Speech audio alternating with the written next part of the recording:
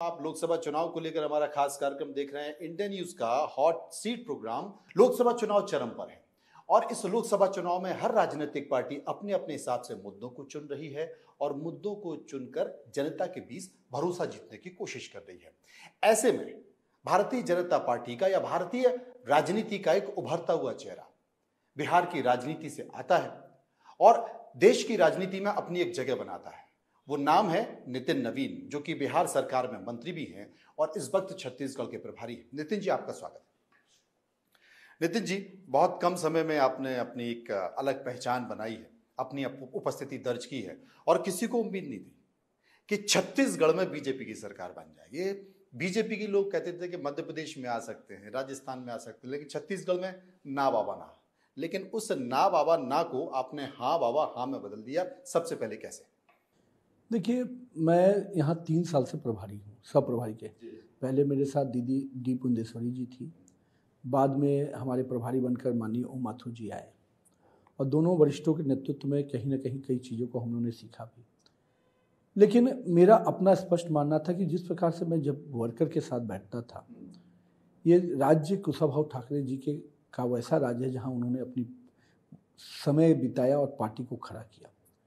जब मैं कार्यकर्ताओं के पास गया तो कार्यकर्ताओं में स्पष्ट था कि इस सरकार को उठार फेंकना है। और कहीं ना कहीं कार्यकर्ताओं के मन में स्पष्ट था कि एक, फिर से एक बार भाजपा को मौका हम लोग को चाहिए। दूसरी बात जो मुझे सामने से दिखती थी कि एक भूपेश है जो सामने से एक अलग तरह का माहौल बनाया हुआ है। जो ज़मीन पे तो नहीं है, लेकिन एक पूरे बड़े वातावरण में अपने आप को खड़ा किए हुए। हमको स्पष्ट उस समय आगे ध्यान में था कि कहीं ना कहीं कार्यक्रम ही एक ऐसा चीज़ है जो कार्यकर्ताओं के जोश को आगे बढ़ाएगा। और हम लोगों ने 2022 का जब कालखंड था, हम लोगों ने उस समय कार्यक्रमों को सामने रखा। और जब जब कार्यक्रम हम लोगों ने दिए, चाहे युवाओं का आंदोलन हो, चाहे अन्य विषयों पर मोर आवास, मोर अधिकार हो, गोठान का पोल खोल हो, ऐसे कई आंदोलन दिए। महिलाओं का महतारी हंकार रैली के माध्यम से जो शराब का खेल खेला इसने, इन सभी आंदोलनों में बड़ी संख्या में हमारे कार्यकर्ता उत्साहित होकर लगे। तो जहाँ हमारे कार्यकर्ताओं ने इन कार्यक्रमों के माध्यम से सरकार को घेरना शुरू किया, वहीं सरकार पूरी तरह से भ्रष्टाचार में अपने आप को इन्वॉल्व की रही। उसका ध्यान जनता के सरोकार में कम, अपने परिवार अपने परिवार की संपत्ति अर्जित करने में था। तो कहीं ना कहीं जो भ्रष्टाचार का अकंठ था, वो अपनी सीमाओं को पार कर रहा था। और यही मेरा मानना था कि जिस सरकार की छवि, भले कुछ भी ऊपर में बनाए फैब्रिकेटेड कर दिया हो, लेकिन जनता में न सड़क की योजना थी न पानी की चिंता होती थी न बिजली की चिंता होती थी और कहीं ना कहीं एक छलावा था कि छत्तीसगढ़ियावाद का। लेकिन जो आदमी छत्तीसगढ़ की जनता हुई छल ठल छग रहा हो छल रहा हो वो व्यक्ति छत्तीसगढ़ियावाद पर कितना देर टिकेगा? जो गोठान के नाम पर प्रोपेगेंडा करता है उस गोठान के पोल खोल कार्यक्रम हम लोगों ने जब लिए तो गोठान में कुछ नहीं दिखा। न गाय थी न न गाय के लिए आसियाना था। जब गरीब की आवाज़ की बात किया मुंडी जी ने तो उस समय गरीबों का आवाज़ छीनने का काम जो सरकार कर रही हो तो हम लोगों ने मोर आवास मोर अधिकार के माध्यम से आंदोलन किया। और जिस प्रकार से जनमानस में उसकी सपोर्ट मिला हमको तो 15 मार्च 2023 को ये विश्वास हो गया था कि सरकार हमारी बनेगी। और शायद आपसे भी जब मेरा मिलना हुआ होगा मैं कई कॉन्फिडेंट थे आप। मैं कई स्तर पर इस बात को कहा था कि वहाँ का जो नीचे का करंट है वो दूसरा है। जब मैं पोटान गोठान का पोल खोल कार्यक्रम लिया तो लोगों ने कहा कि नहीं, ये कार्यक्रम तो थोड़ा रिएक्ट कर जाएगा, ये हो जाएगा। मैं आपको आज भी बताता हूँ, वो जून का महीना था। और गोठान का पोल मई का लास्ट महीना था 20 से 22 मई के बीच में। वो जो पोल खोल का कार्यक्रम लिया तो पहले बार में ज़बरदस्त रिएक्शन दिया कांग्रेस के लोगों ने। लेकिन जब जनता के बीच में हमारे कार्यकर्ता जाने लगे, पाँच हज़ार गोठानों पर हमारे कार्यकर्ता गए और जब वो हमारे बड़े नेता उतर गए उस मैदान में तो वो कहीं ना कहीं कांग्रेस भी बैकफुट पे आ गई थी। उसके नेता कांग्रेस के लोग बोलना बंद कर दिए और आपकी सरकार बन गई। मैं इसको एक बार में नहीं कहूँगा मैं ये कहूँगा कि कार्यकर्ताओं ने संघर्ष किया। जिस तरफ़ से एक सरकार लगी थी कि पूरी तरह से भ्रष्टाचार महादेव ऐप शराब घोटाला ज़मीन की अखंड संपत्ति अर्जित करने में लोग लगे थे वही हमारे कार्यकर्ता भेद खोलने में लगे थे कार्यकर्ता आंदोलन करने में लगे तो थे। क्या ये मुद्दे अब भी ज़िंदा हैं? क्योंकि वो 2023 था। चंद महीने बीते हैं और अब 2024 है तो क्या लोकसभा के विषय लोकसभा के मुद्दे और विधानसभा के विषय विधानसभा के मुद्दे आरोप प्रत्यारोप उन्हीं पर चुनाव है ये? या या मुद्दे से अटकर है? नहीं मैं, अलग मैं बहुत स्पष्ट हूँ और जनता भी स्पष्ट है। ये मुद्दे हमने 10 साल के जो नरेंद्र मोदी का कार्यकाल है वो निश्चित रूप से जनता के सामने है। हम उन विकास के मुद्दों पर जा रहे हैं अपने दस सालों के कार्यकाल के मुद्दे पर जा रहे हैं। और राज्य की बात करिएगा तो सौ दिन में विष्णुदेव साई की सरकार ने जो मोदी की गारंटी को पूरा करके दिखाया वो अपने आप में बड़ा मुद्दा है। सत्तर लाख महिलाओं को महतारी वंदन योजना से जोड़ देना पहली किस्त जा चुकी तो क्या ये समझे हैं कि मोदी है तो मुमकिन है मोदी है तो मोदी की गारंटी है इससे कांग्रेसी बौखला गए क्योंकि उनको उम्मीद नहीं थी कि सरकार बन जाएगी और इसी बौखलाहट में डॉक्टर चरणदास महंत, जो कि नेता प्रतिपक्ष हैं, उन्होंने एक बयान दे दिया है कल शाम को चुनावी सभा में, और वो कहते हैं कि भूपेश बघेल और बिलासपुर के प्रत्याशी यादव को इसलिए भेजना ज़रूरी है देवेंद्र को, जिससे ये मोदी को गाली देंगे और लट से मोदी का सर फोड़ सकते हैं। इस बयान को लेकर आपका मैं इसमें दो तीन सवाल आपने कर दिए हैं। तो सबसे पहले तो मोदी की गारंटी, यानी पूरा होने की गारंटी, ये जनता में विश्वास जगा है। तो निश्चित रूप से सौ दिन का जो कार्यकाल है चाहे किसानों के विषय हो महिलाओं के वो हमारे लिए जनता का विश्वास है। दस साल का कार्यकाल हमको जनता का विश्वास है। लेकिन जिन विषयों को शब्दों का प्रयोग किया मैं स्पष्ट रूप से कहता हूँ चंद दास जी को कि आपके नेताओं ने इसी तरह का बयान कई बार दिया है। मोदी ने हमेशा उसको हाँ, किसी ने मौत का सौदागर मौत का सौदागर कहा किसी ने तमाम सारे किसी ने चाय चाय वाला चाय वाला बोला किसी ने चौकीदार कुछ कहा लेकिन हर बार मोदी ने उसको, अपने आप को आगे करके उसको अपना गहना समझकर जनता के प्रति अपने कमिटमेंट के साथ लगे रहे। और यही कारण है कि गुजरात में भी तमाचा पड़ा, उन्नीस में भी तमाचा पड़ा और जिसने चाय वाले का मज़ाक उड़ाया, आज वही चाय वाला देश का नायक बनकर, देश का प्रधान सेवक बनकर देश की सेवा कर रहा है। तो कहीं ना कहीं चरणदास महंत जी जिस तरह का मर्यादित बयान राष्ट्रीय पार्टी के नेता आप लोग दे रहे हैं, जनता आपको सबक सिखाएगी और छत्तीसगढ़ की जनता देख रही है कि जो लठ मार की बात करते हैं, यही लोग हैं जो लालू के यहाँ लाठी पिलावन की बात करते थे। आज लाठू, लाठी में तेल पिलावन वाले लोग क्या हर्ष हुआ है बिहार में देख सकते हैं। अब यहाँ पर लठ की बात कर रहे हैं तो जनता वो लठ लेके खड़ी रहेगी मोदी के लिए, क्योंकि उनको मालूम है कि उनके प्रधान सेवक पर कोई सवाल उठाएगा, जिसने गरीब के घर में अन्न पहुँचाया, जिसने गरीब के लिए शौचालय बनाया, जिसने गरीब के खाते खोले, जिसने महिलाओं का सम्मान बढ़ाया, जिसने गरीब का आसियाना बनाया, गरीब के घर में उज्ज्वला योजना पहुंचाई, वो व्यक्ति के ऊपर कोई सवाल उठाएगा तो देश की करोड़ों जनता खड़ी है और वो लठ जनता के लेके खड़ी होगी। आप तो व्यक्ति को लेके आगे खड़ा हो रहे हैं। चूँकि आपने लाठी में तेल पिलाने की बात कर दी है आपके अपने प्रदेश बिहार की बात हो गई है। 2019 में उनतालीस सीटों में से, उनतालीस सीटें बीजेपी को प्राप्त हुई थी और उसमें से तेरह अब प्रत्याशी मैदान में नहीं है।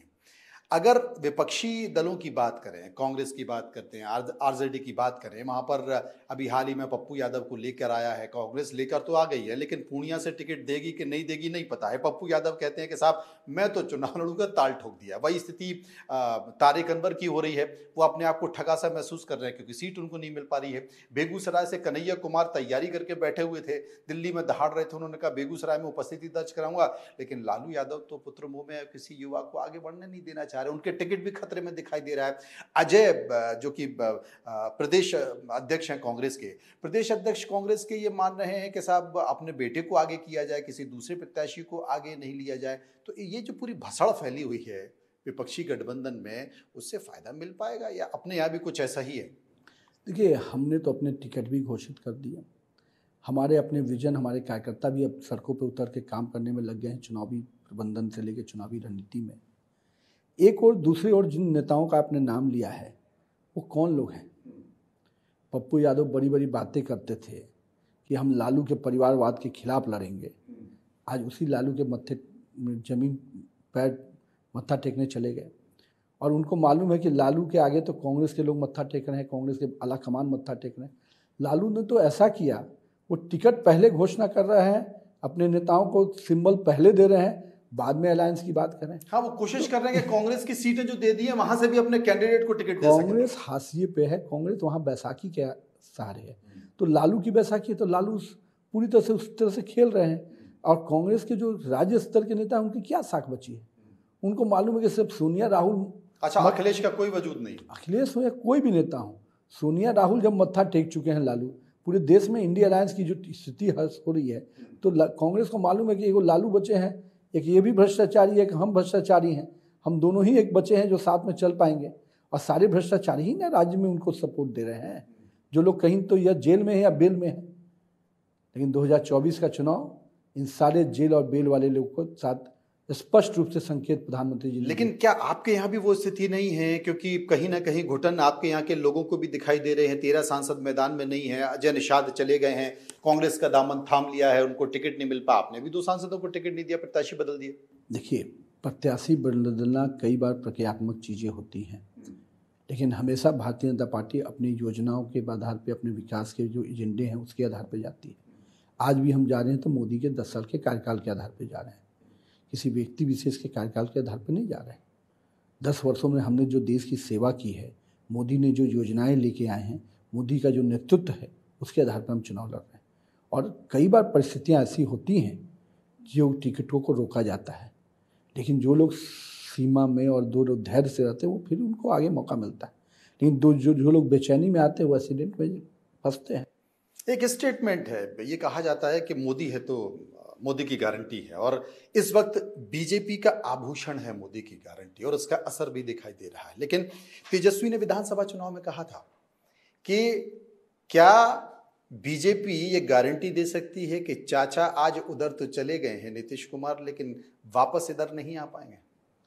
देखिए, नीतीश कुमार की कार्यशैली और नीतीश कुमार की व्यक्तित्व ये दोनों बहुत आपको आकलन करने का है। कहीं ना कहीं जो भी चीज़ें उन्होंने निर्णय जब जब लिया, लेकिन हमेशा उनकी कार्यशैली और उनका व्यक्तित्व उसके विपरीत रहा। आप देख सकते हैं, लालू के विरोध में वो आए। उन्होंने भ्रष्टाचार को हमेशा चोट करने की बात की। उन्होंने अपने आप को हमेशा परिवारवाद से अलग रखा और कहीं ना कहीं विकास के एजेंडे पे अपने आप को आगे रखा। तो इन मुद्दों पे एक स्वाभाविक गठबंधन जो है वो भाजपा के साथ है। स्वाभाविक वह मैं युद्ध कर रहा हूँ। तो कहीं ना कहीं नीतीश आज जहाँ है जितना तो फिर बीजेडी को क्या हो गया? उड़ीसा में अगर वो भी क्योंकि वो भी सालों से आपका स्वाभाविक गठबंधन रहा है। देखिए बीजेडी एआईएडीएम के आपका स्वाभाविक गठबंधन रहा है। देखिए अकाली दल आपका स्वाभाविक गठबंधन रहा है। हाँ रहा है और हम लोगों ने लंबे समय काम भी किया है। लेकिन कई बार गठबंधन में अपने अपने क्षेत्र को बचाने के लिए भी काम होता है। हर पार्टी अपने आधार को बढ़ाना चाहती है। और इसमें कोई गलत भी नहीं है।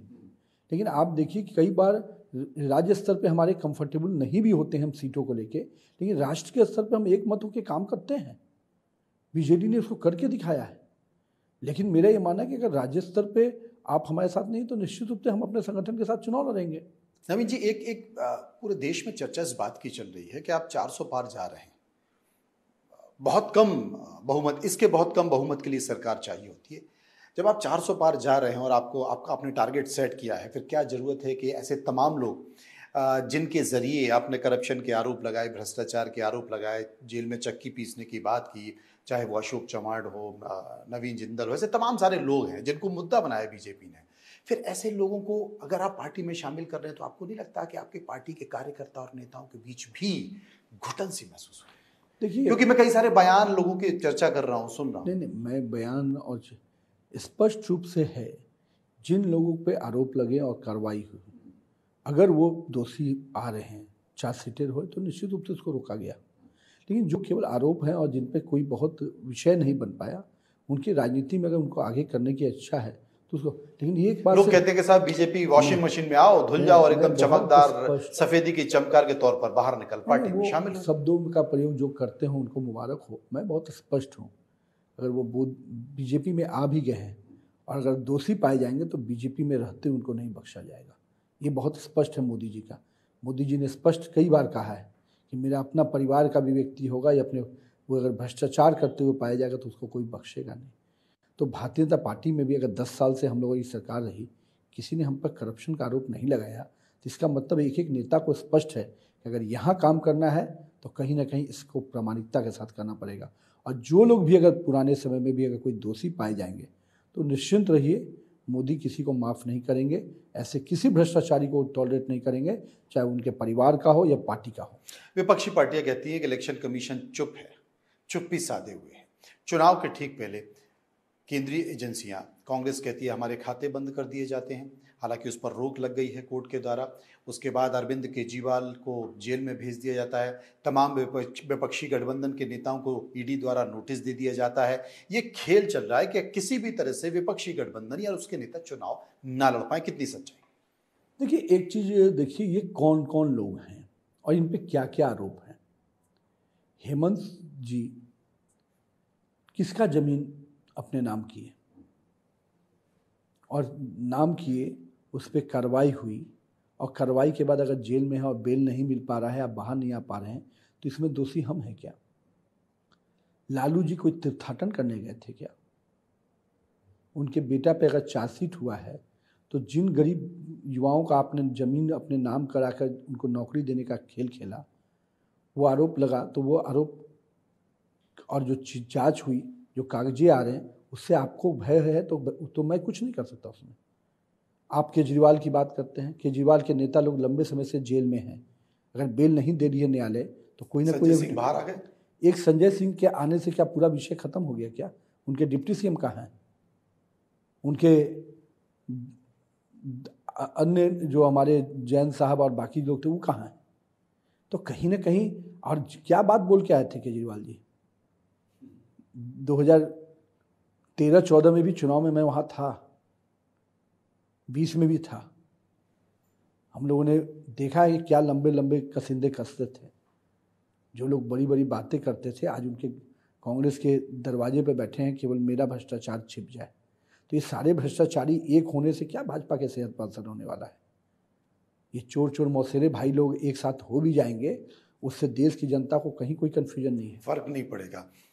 बीजेपी टारगेट सेट करके चलती है। विधानसभा में आपने टारगेट सेट किया अचीव कर लिया। लोकसभा में आपका क्या टारगेट है? ग्यारह में से पिछली बार दो कांग्रेस के पास चली गई थी। इस बार ग्यारह में से ग्यारह कितनी सीटें आप लेकर आने वाले लेकिन ये कहा जा रहा है कि चार पाँच सीटों पर टक्कर है। कि कहने का मैं अभी तक करीब सात लोकसभा खुद घूम के आया हूँ। सात हाँ पाँच चार बचा हुआ है। मेरा ये मानना है कि आज जिस प्रकार से दस वर्षों के कार्यकाल को हम लेके जा रहे हैं, उसका कोई जवाब अपोजिशन के पास नहीं है। उन मुद्दों पे वो डिबेट करने की स्थिति में नहीं है। पिछले सौ दिन में विष्णुदेव साय की सरकार ने जिस प्रकार से कमिटमेंट को पूरा किया है, उसका कोई तोड़ उनके पास नहीं हमारा नेतृत्वकर्ता नरेंद्र मोदी हैं, इसका कोई तोड़ उनके पास नहीं तो जब राज्य की योजनाएँ राज्य की सरकार, केंद्र की योजना, केंद्र की सरकार का कोई विकल्प नहीं है। और छत्तीसगढ़ में ग्यारह जो प्रत्याशी कांग्रेस के होंगे, ये कौन चेहरे हैं? ये वही चेहरे हैं, या तो थके थकाए हैं, या कहीं कहीं पीटे पटाए हैं। तो ये पिटे हुए चेहरे जिसको जनता ने नकार दिया, जो चीज़ें हैं, ये कौन लोग हैं? ये वही चेहरे हैं जिन्होंने कांग्रेस के नेताओं की शहादत दी। ये वही चेहरे हैं जिन्होंने कांग्रेस के नेताओं के हत्या की जो जाँच हुई उसके फ़ाइल को पाँच साल तक दबा के रखा। लोग कांग्रेस के कार्यकर्ता भी इसको भूले नहीं है। मतलब इस बार चार सौ पार। मैं तो कहूँगा कि छत्तीसगढ़ के ग्यारह के ग्यारह कमल नरेंद्र मोदी के झोली में और देश से चार सौ पार का जो नारा मोदी ने दिया है वो जनता पूरा करके देगी। बहुत बहुत शुक्रिया नितिन जी आपने हमसे बातचीत की और आपको बातों को निश्चित तौर पर देश के समक्ष पहुंचाएँगे और बताएँगे। आपको बहुत बहुत शुक्रिया।